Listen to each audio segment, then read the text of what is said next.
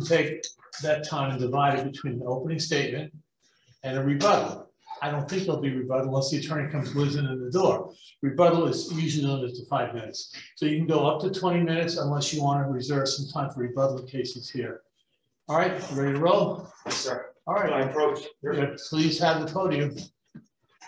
What kind of dog you got there? He's a service dog, he's a Labradoodle. He's a Labradoodle. That's a cool looking dog. Okay, let's do it. Sick.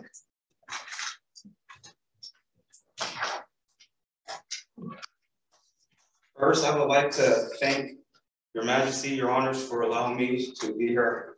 May I please, honorable courts, Well, just judges, by the way. judges, okay, well, that was my next question, of how would you like to be referred as to your honor, your majesties, or? No, majesties is too much. Okay. God is okay, but majesty is too much. Okay, well, Your Majesties, I would like to take this opportunity to allow me to evolve as an enlightened individual. This has been an erroneous journey with many barriers that I've had to overcome.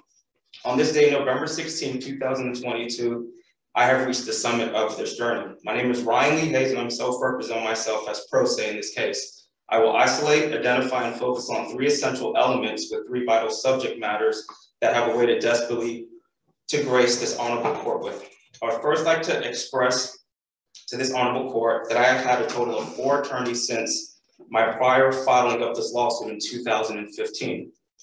Rolando Guerrero in two thousand and fifteen through two thousand and sixteen made a derogatory comment about my ethnicity, my parents to go to trial. That case has no lien that was associated with the case, and the lead attorney was able for him to withdraw from the case.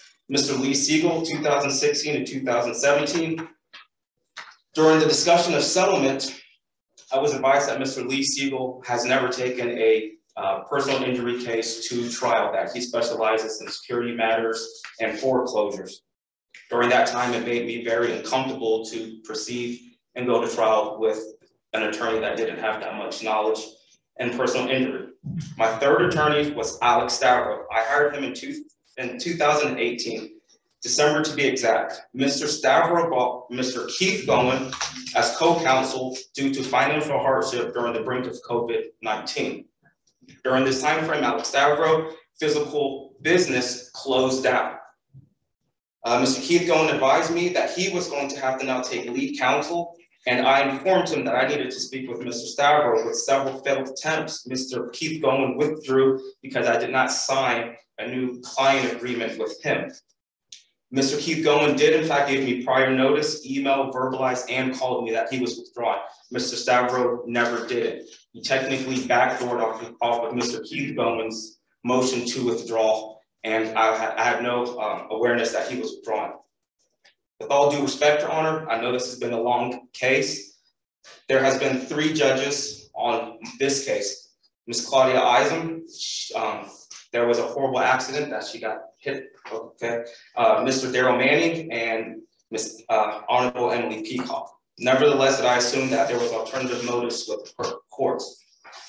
The first subject matter that I would like to bring to your attention, Your Honor, whether or not the trial court's abuses dis dis discretion in the appellant's motion for continue for continuous trial. Defense counsel will unwittingly portray a false strategic narrative as if they're accusing the appellant of abusing and strategically manipulating the courts. I am here before this honorable court to refute and dismantle the false narratives with supporting merits and facts. Yes, Your Honors, I was sanctioned two times due to two prior CME um, office visits. The first reason was because of with, with Mr. Lee Siegel. He withdrew from the case. I didn't have any legal knowledge of how to proceed with that. The second time was after when I hired Alex Stavro, time went on, he was trying to find a more medium place for me to go to for the CME due to the fact it was over an hour away from my residency. The second subject matter, trial courts granting the appellee's motion for summary judgment, granting attorney fees, and denial of the appellant's motion for rehearing. Appellant, this is very noticeable in their argument. Appellant failed subject admissible records for evidence. Alex Stavro was my hired attorney for over two years. Not one attorney did any type of discovery or requested any type of evidence for this case. Throughout all the exhibits, you can see that there's a plethora of documents that I have reached out to Mr. Stavro and Mr. Keith Gowen asking what are the updates with my case. I was vigorously reaching out to him. I was open for communication. He constantly advised me that the courts are backed up. He hasn't heard from Mr. Keith Gowen and just giving me a Heisman stiff arm. uh, the, uh, I'm sorry, Your Honor. Uh, Mr. Hayes, let me let me ask you a quick question. Yes, sir. Um, because what comes through from reading your brief and, and hearing your presentation um, is that you feel dissatisfied with the, uh, representation that you got, in the course of your lawsuit.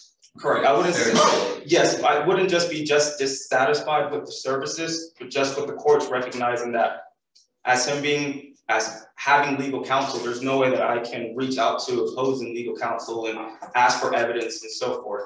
I did my job as an individual trying to correlate with Mr. Stavro, any type of evidence. He was on the case for two years and I had no evidence. It took me to get six years of six large boxes to go through these boxes and come to the conclusion that no discovery was ever done. I had to hire our own private investigator to track down this vehicle, an expert analyst for reconstruction and so forth. And these are all preliminaries that my attorney should have done throughout the course of my, And, and, and I, I, I hear, I hear your, your complaint, I was trying to put it kindly, Oh, okay. uh, regardless. That's not something that we can really pass on in this case, we can't really make an adjudication. Uh, this isn't a malpractice case, right? This Correct. is, this is the underlying personal injury case. Um. How are we supposed to tie, how are we supposed to tie in what you claim was just bad service by your lawyers to the ruling that we actually have to decide here, that we actually have to review, which is all the, the underlying personal injuries. I'll be straightforward, Your Honor, and I will not try to mirror myself being an attorney or someone knowledgeable with case law. Fine.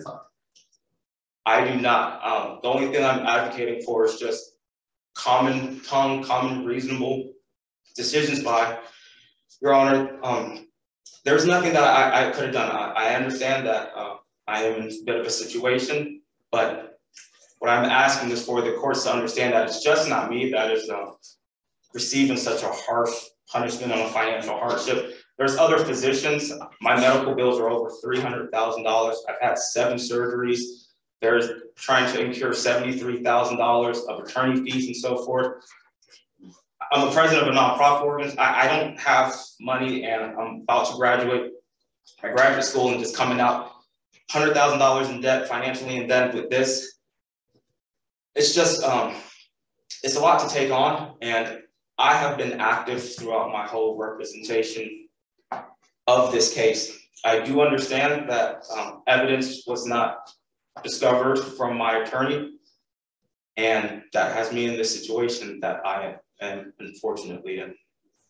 Well, we'll take a look at everything and you'll get our ruling in the mail. But is there anything you want to argue about why the trial court made a mistake that you haven't Yes, had a chance? to I would like about? to ask why, when we had our hearing for motion for reconsideration, that Honorable Emily Peacock, she uh, instructed on the record that she would not uh, grant a motion for continuance.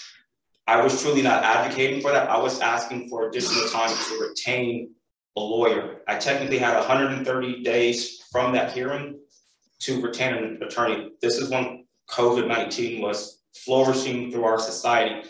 No attorney, attorneys weren't even picking up phone calls. Ms. Lupe, the director of the Florida Association, she gave me over two dozen referrals. She personally went outside of her own network, wrote a judge, uh, wrote a letter to Miss Emily Peacock advising her that she gave me her complete arsenal of resources and not one attorney was willing to accommodate me and, and take up this case before the August date of trial. And that's another thing, Your Honor. Hopefully this is the last thing. I did have a scheduled um, trial date. It was August sixteenth, two thousand twenty-one with me prior to having counsel. When they withdrew, then it got taken off the docket.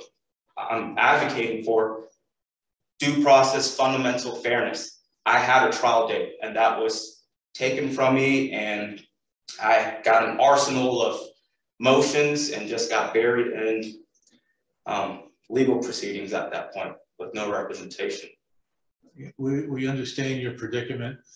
Uh, answering questions, by the way, is outside the scope of what we can do. We can't, we, we're not here to interpret what happened and explain it to you. I'm s- I, I wish we were. Uh, So anything else you want to add to your argument? Uh, I think that is about it, Your Honor, just argument, fundamental fairness and just due process.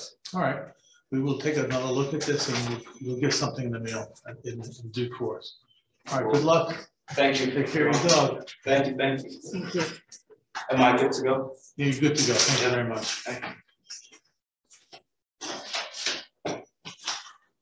I'm sorry, am I approach? No, you can't go past the podium. What do you want to No, say? Not approach, I mean, come back here. Yeah, Am I able to request for a verbalized default by any chance since opposing it counsel? doesn't apply in this, Okay. this- I'm sorry about that. It would be nice. All right, thank you. right, take care. Bye-bye. All right, folks, we're gonna go to case number two, Cornello versus LaRoche et al.